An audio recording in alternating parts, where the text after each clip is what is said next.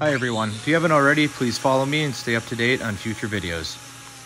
Today we're working on a dairy cow and we're going to be working on a digital dermatitis, which is also known as a wart.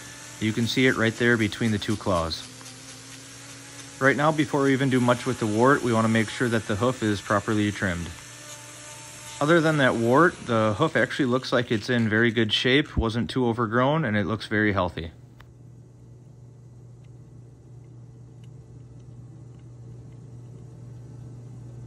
A wart on a cow is typically stemmed from walking around in too much manure. These are fairly common in dairy cows and they're actually very easy to treat.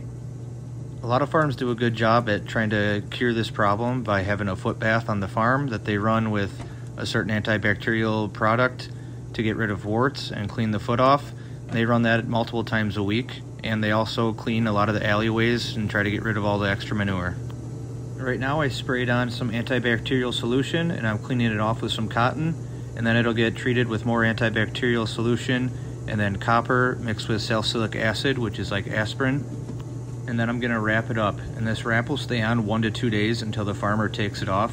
Anything longer than that is just doing no good. It can actually cause the wrap to cut into the foot further and cause further damage. There's no reason to clean the full foot on this cow because she was already wrapped with antibacterial solution and had the wart cleaned out and then the copper will dry it out. Absolutely no need to clean it out further.